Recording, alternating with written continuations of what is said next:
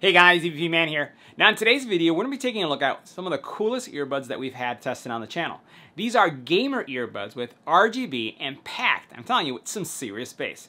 Let's check out the Gravastar Sirius Pro True Wireless Earbuds. And guess what? If you're caught in a pinch and you need a bottle opener, they can open up bottles too. Now the Gravastar Sirius Pro True Wireless Earbuds have great features. We're talking about 6 hours of battery life, 24 hours with the case, and they can be used independently and play non-stop except for the right earbud swap. That you'll get a slight pause. They do have a light bar, which you're to see in a couple seconds, that can change colors depending on how many times you press uh, the light button. You have 7.2 millimeter dynamic drivers, and then you also have a noise reduction technology that is to help you enjoy more the music. Uh, it has low latency gaming, so if you want to be able to use them in game mode, you can expect low latency of 65 milliseconds. That's optimized for gaming.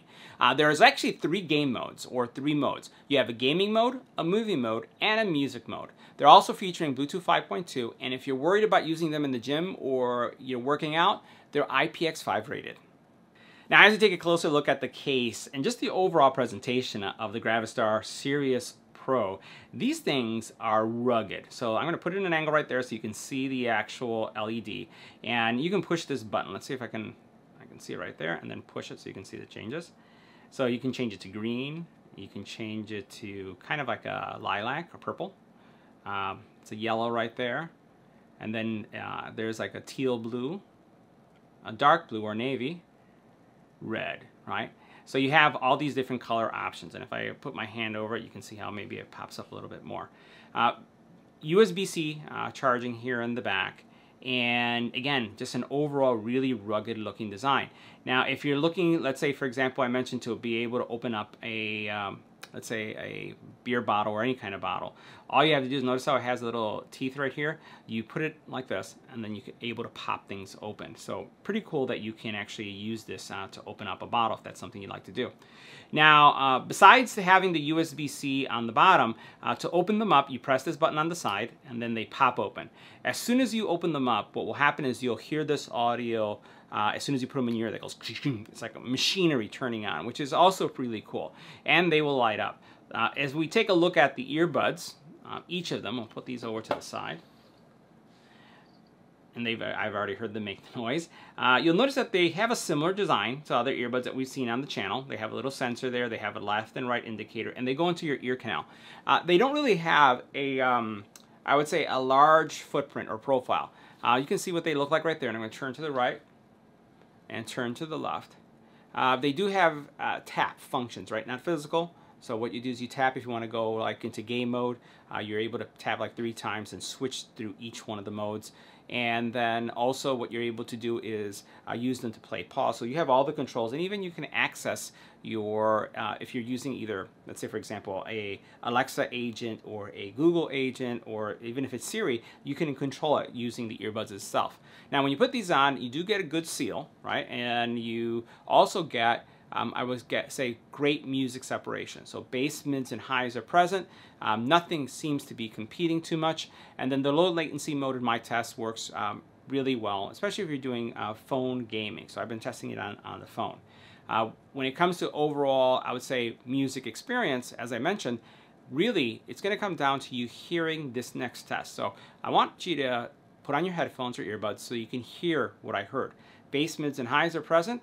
Um, I think they sound really good. Check it out.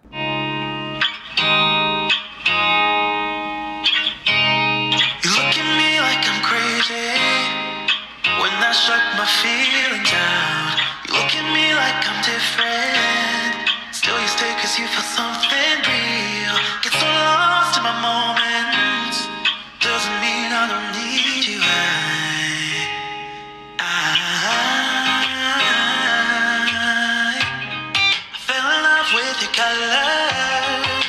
Tell me what I'm thinking.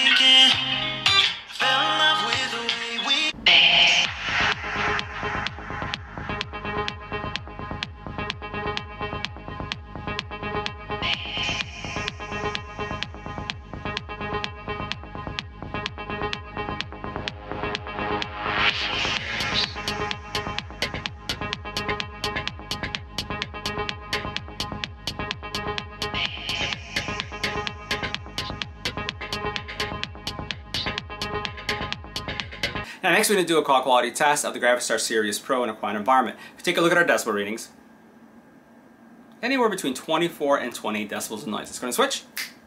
This is what the Gravastar Sirius Pro sound like in a quiet environment. This is a test. One, two, three. This is our test. Next, let's add some wind to the environment. And this is what the Gravastar Sirius Pro sound like with wind in the environment. This is our test. One, two, three. This is our test. Now we're switching to testing the Gravastars in a noisy environment. So you can look at our decibel readings. Yeah, anywhere between 40 and 80 decibels in noise. Let's go and switch. Now this is what the Gravastar Sirius Pro sound like in a noisy environment. This is a test. One, two, three. This is our test. Now this is what the Gravastar Sirius Pro sound like if an infant were crying in the background. This is what they would sound like if an infant were crying in the background. Now if you're curious on how they would sound if a dog were barking in the background, this is what they would sound like with a dog barking in the background. Now, if you're curious what they sound like with a doorbell ringing in the background, this is what they would sound like with a doorbell ringing in the background. So guys, that wraps up our review of the Sirius Pro ultra low latency RGB gaming earbuds. See you in the next one.